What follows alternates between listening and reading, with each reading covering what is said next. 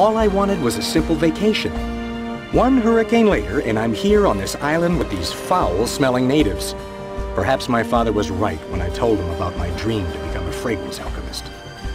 Maybe my military training can help me get off this forsaken sand prison. I swear, these natives only know two things. How to start a war and how to throw a party. Apparently, the natives I just defeated want me off the island as much as I want off. One condition, I must reclaim the lands I just took from them. Oh, the stench.